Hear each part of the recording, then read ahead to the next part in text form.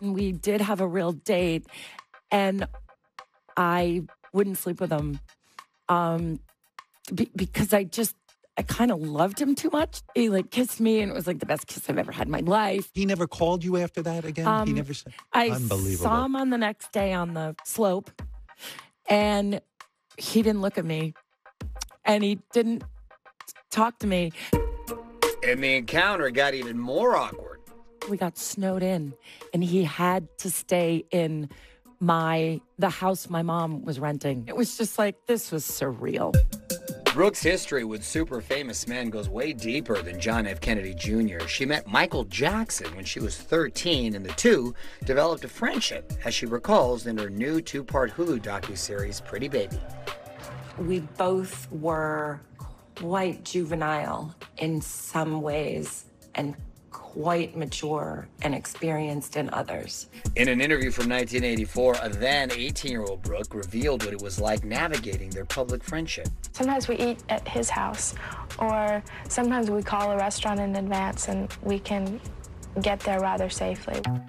But Brooke now says she began to suspect Michael was tipping off the paparazzi before they would arrive at restaurants. He always wanted to be sort of seen with me. Like if we would pick a, a restaurant, I, I was like, well, how did they know we were here? Brooke also shares that Michael wanted to adopt a child with her. And she opens up about the moment their friendship fizzled after Michael's 1993 Oprah interview. Who do you date? Well, right now it's Brooke Shields. I called him and I said, What are you doing? I said, I'm actually currently with a boyfriend.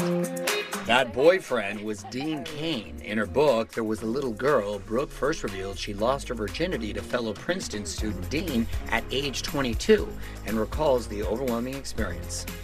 I immediately ran out of the room, ran down the hall, butt naked, and he ran after me with the duvet and grabbed a hold of me and said, Where are you going? He goes, I'm not going anywhere. I'm not leaving you. In 2014, Dean shared his memories with us. My version is, is, is, is very much the same. She said you were so patient. Uh, no, you know, we were in love. It was great. I wasn't, that wasn't what the relationship was about.